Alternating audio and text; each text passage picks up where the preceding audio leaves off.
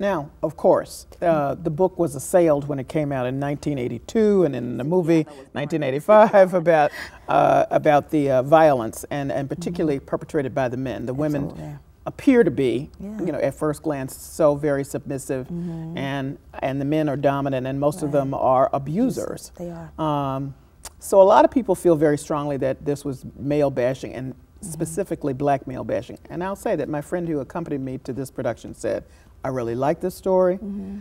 but boy, I get tired of Me seeing too. our men portrayed in this way. I agree. I do. I felt that way. Some people have the perspective that, you know, art is art and people should be able to express themselves. They should not be, um, you know, prohibited from sharing whatever they want to share. But then I also feel artists has we as an artist and as a people and some artists people say, well, you know, you know, white people don't have to worry about those types of things, so why do we have to? Well, we do, you know, like that's how it is in this country. You know, we have to really worry about because we have different different obstacles that we, we deal with as a people, and we have to be very careful as to what we present to our our children and our community. So that was definitely a struggle for me um, doing the production the portrayal of um, black men as being abusive. But again, I think in reading the book, I, I got a, a, larger perspective of everything.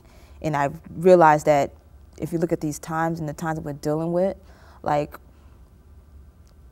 I think women in, women in general was fighting for freedom and liberation at this time. It wasn't just something that black women were fighting for. It wasn't something that black men were only doing, you know? Um, in fact, I think on a lot of levels that black people were kind of emulating, the black men were emulating the behavior that they saw on the plantation towards the, towards the black women.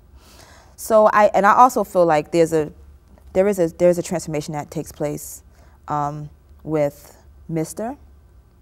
in the play.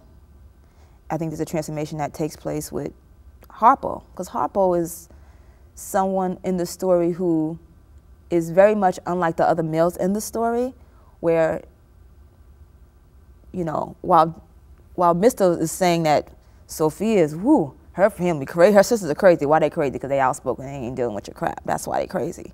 But he loves to. He loves her.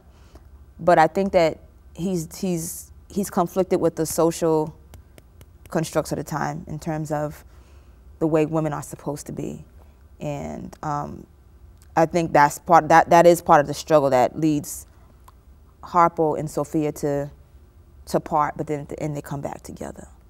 And then if you if you see them in the musical, you see how silly. I mean, Mister's kind of like almost jealous of his son when he begins to plead and talk about Miss Celie's curse. Harpo's happy. Well, he why he happy? You know. So I think that um, I think that the story is a, a lot larger than that, at least, at least the musical in the book.